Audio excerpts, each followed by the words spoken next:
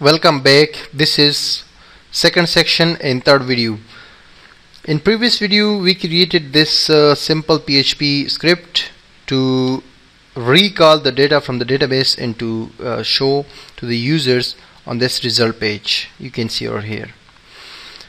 So actually we are creating a while loop which will uh, you know uh, which will show the results again and again or how many rows are in the table. So all of them will be shown using this while loop. And also we have an array mysql fetch array which is a default array. And inside that array we have the whole row. And we are just saying we, we have the whole row of the table. So we are just creating local variable and getting the data from the database inside the sites table. Now when we have all the data saved in the local variables like site title is having site title from the database. So we need to show them. We can show them inside this echo statement.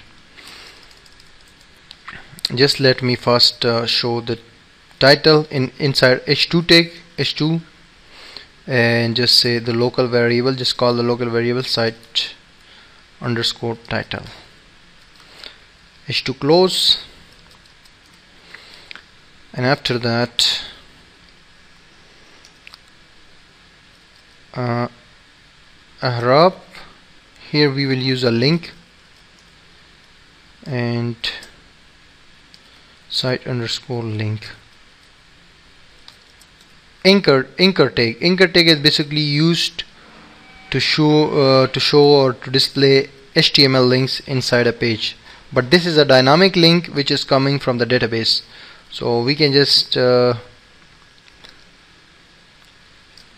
add the site underscore link variable which is bringing a value the link value from the table. And this will become a link. You can just add an attribute called target uh, which and blank. Blank means it will be open opening in a new page in a new tab and remember that you cannot insert double quotes when you are echoing anything inside the echo statement of PHP because the echo statement itself uh, having this double quotes in the starting and double quotes in the ending here. So you will just insert the single quotes or here in HTML tags inside HTML tags okay the third thing is keywords. We don't need keywords. Actually in fact we should remove this field this line because we we just inserted the keywords for searching purpose not for showing on the site on the result page. So there therefore therefore we are just removing it from here. Now a third thing is description the site description. So for it we will just uh, add HTML paragraph tag and we'll just say uh, align equal to justify. And here we will echo the variable or insert the variable that is site underscore description. Paragraph close. And the last thing is site sorry img source equal to images. And inside images folder the image name is this one site underscore image. Because both of the uh, file server and the database server are connected with each other so this is basically making a communication establishing a communication uh, with the folder inside this project. You can see over here this is the project folder and all the images are here. But we have also saved the name of the images inside the database or here. You can see these are the names of the images. su core.jpg and su today.jpg etc so we are saying that pick the images from the images folder inside the files folder and the name is this one coming from the database. So this will not reflect anything. Now we must give a width and size or here to the image because the, if we don't add any uh, specific size width and height then the image will be displayed in the exact size the original size which we uh, earlier uploaded so the page will be you know looking bad and ugly. So therefore we need to specify the width which will be is equal to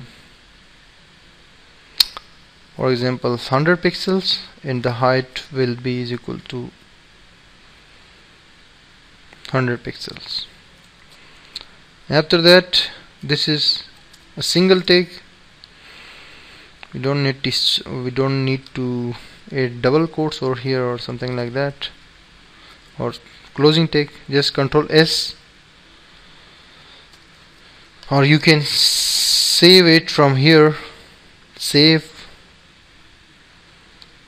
Now just go to back to this page and for example write SEO tips click. You are having an error on line number uh, 31 while oh sorry we have just forgot to add a bracket over here a parenthesis. You know there are four parentheses used in this because there are two uh, conditions. You can see the while as well as the MySQL fetch array. So there are two functions used so we need to add four parentheses. We just missed one over here. Now control S2 again save and go to this page refresh it. I'm sorry. Again the SEO tips. Search now. And you are now seeing the results over here. You can say you can see the results all of the results. We uh, ourselves added to the database. This database are now displaying on this page. You can see. If you now search for okay we need to also insert a button over here after the form tag yeah after the form tag we need to insert a button a link. A href is equal to search.html and we say go back. Control is to save now come here. We are having a button or a link over here. We can make it button as well like this. Button and button close. Control S to save. Inside the link we have inserted the button. So the button itself will be a link this one. Now you if you click this you will come here. Now write beauty tips for example. In search now. So you are displayed the results related to actually the beauties. Now if you click this link it will be opening in a different page. You can see over here. Or if you go below click this one. And be seeing this page. Actually what's going on here? This search engine is basically you know uh, selecting the data from the database accordingly like the post or site title the link the description and the image. And you can also in this is coming through the while loop because whenever you insert something using this form so all of the data open the keyword selection when someone is entering a keyword over here and then searching so the data is coming here. Now you can also make some specification for example if you say let's go back and say something like uh, you know football players. Stored football players says now there is no result. You can see but we want if someone write anything that we don't have in our database here in the site keywords then we can uh, display any message to the user that uh, you have wrote, uh, written a wrong word or uh, we are sorry that we don't have any result for you or anything like that. Or if someone clicks this button without any without writing anything like someone press this button without writing anything like search now. So the data is still coming previous data so therefore we need to stop it. So this we will be doing in the next video of this section but let me just explain a little bit things to you that we have uh, simply created. First we have established a connection of MySQL and with the search database and after that we have the search we are saying that if the search button is pressed or the search button is active which is here on this page this one. So then we said in PHP in a PHP script do the following. This these all things. This code will be executed when the search button the search button is active. So we are getting the user value saving the list local variable and after that a query we are running saving into this local variable. This is the query where we have actually uh, used two statements or two conditional uh, functions like where and like. Like is always used for matching words in PHP so that is the value and we are saying that find in the side keywords if any word is matching then we are saying that a query should be run MySQL query this one and we are saving that into the run result. And after that we are just running a loop while loop with a MySQL fetch array which is creating an array of the table in the rows of the inside the table.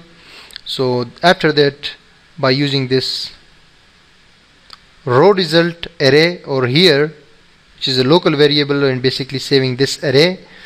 So we are getting each field we need. For example the site title site link and site description etc and we are saving them actually in these local variables site title site link site description etc and after that finally we have just used echo statement to show this result when someone will search anything or someone will click. So this code will run and these all things will be shown automatically because we have just uh, the beauty of PHP is that we do a thing only once.